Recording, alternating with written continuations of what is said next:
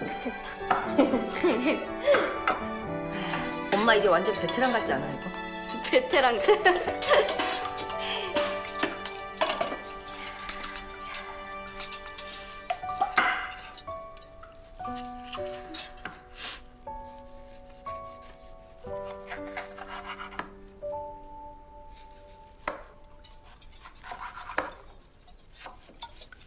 엄마.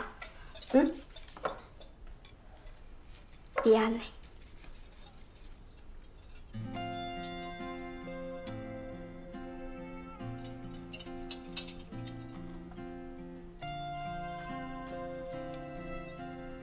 아이들은 다른 사람의 잘못을 자기 잘못으로 돌리고 어른들은 자기 잘못을 남한테 돌린다.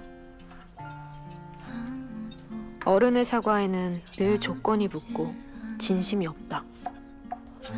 아니야.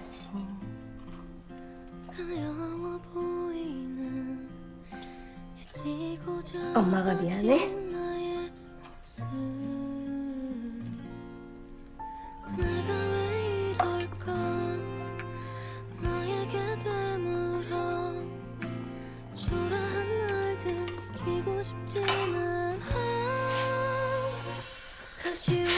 왜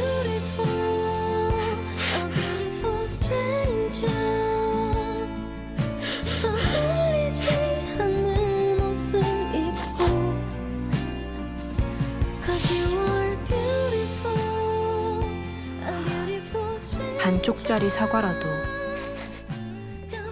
절박한 누군가에게는 생명줄이 된다는 걸 나는 알게 되었다.